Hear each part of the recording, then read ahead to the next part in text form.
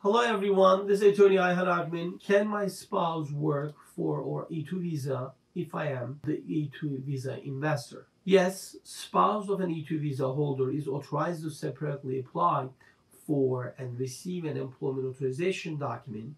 The spouse is eligible to work for the E2 visa or a job with any other company if she or he finds one.